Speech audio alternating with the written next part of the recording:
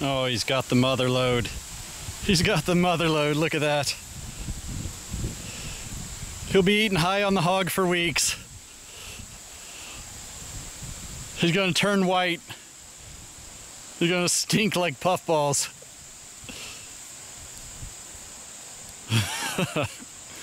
what, what do you have going on here? What, what's this all about? First of all, I'm not surprised to see you trying to film my balls.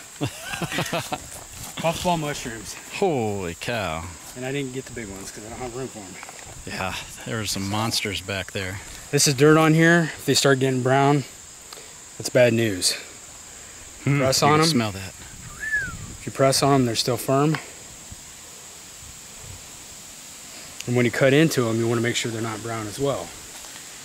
So I didn't pay much attention to these because what's everybody do when they're a kid, right? You go through the woods. What do you do? You Once they're dry, you kick them. you kick them. So I started doing some research, talking to some foragers last year, and they're like, "Oh, it's it's good stuff. You need to eat them. If you cut them like a steak, take like a long bread knife and cut them one inch thick. Sorry, I'm out of breath here. I was hoofing it. And um, do not vacuum seal them.